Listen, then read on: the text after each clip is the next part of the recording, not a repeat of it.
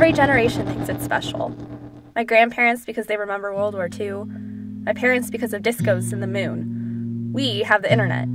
Billions and millions of doors we can open and shut, posting ourselves into profiles and digital scrapbooks. Suddenly and totally, we're threaded together in a network so terrifyingly colossal that we can finally see our terrifyingly tiny place in it. But we're all individuals. It's beaten into us on MLK Day assemblies. One person can make a difference. And fourth grade poster projects. What do you want to be when you grow up? We can be anything. Our parents are divorced, but we're in love. Vaguely, quietly, we know we'll be famous for being president, for starring in a movie, for writing a feature at 18 in the New York Times. I'm so jealous. Unthinkable jealousies, jealousies of the Pulitzer Prize winning novel I'm reading, and the Oscar winning movie I just saw. Why didn't I think to rewrite Dalloway?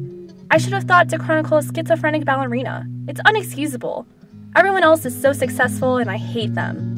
There's a German word I learned about in psychology class called Schadenfreude, which means a pleasure derived from the misfortune of others. The word flips into my head like a shaming pop up when a girl doesn't get the internship either, or a boy's show is bad. I was lying in bed the other night, wondering whether the Germans created a word for its opposite when I realized that the displeasure derived from the fortune of others is easier to spell. I should have thought to coin its green eyes.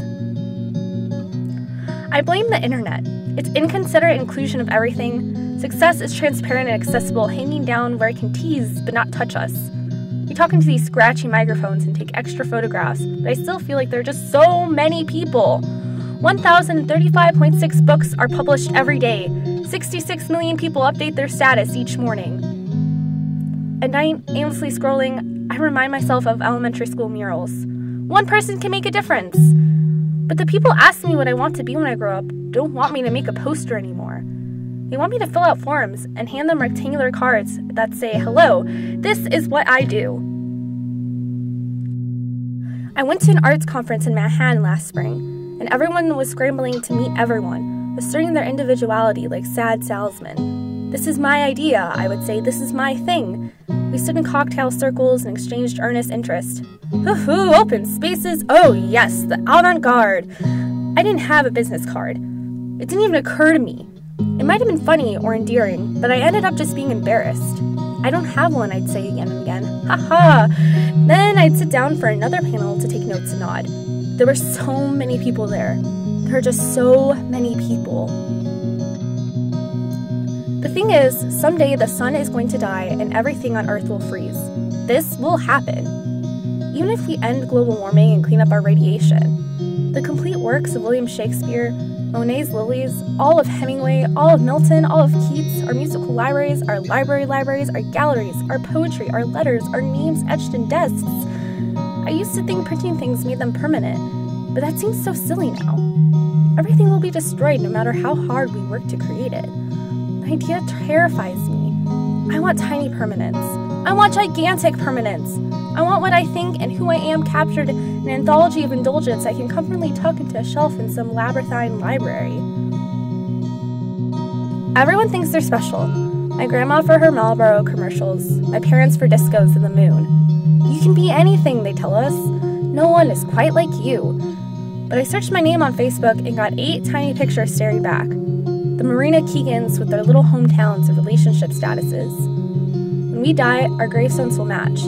Here lies Marina Keegan, they will say. Numbers 1, 2, 3, 4, 5, 6, 7, 8. I'm so jealous. Laughable jealousies, jealousies of everyone who might get a chance to speak from the dead. I've zoomed out my timeline to include the apocalypse and religion lists. I worship the potential for my own tangible trace. How presumptuous to assume specialty in the first place. As I age, I can see the possibilities fade from the fourth grade displays. It's too late to be a doctor, to star in a movie, to run for president. There's a really good chance I'll never do anything. It's selfish and self centered to consider, but it scares me. Sometimes I think about what it would be like if there was actually peace. The whole planet would be super sustainable. Windmills everywhere, solar panel doo-bops, clean streets. Before the world freezes and goes dark, it would be perfect. The generation flying its tiny cars would think itself special. Until one day, vaguely, quietly, the sun would flicker out and they'd realize that none of us are. Or that all of us are. I read somewhere the radio waves just keep traveling outwards, flying into the universe with internal vibrations. Sometime before I die, I think I'll find a microphone and climb to the top of a radio tower. I'll take a deep breath and close my eyes because it will start to rain right when I reach the top. Hello, I'll say to outer space. This is my card.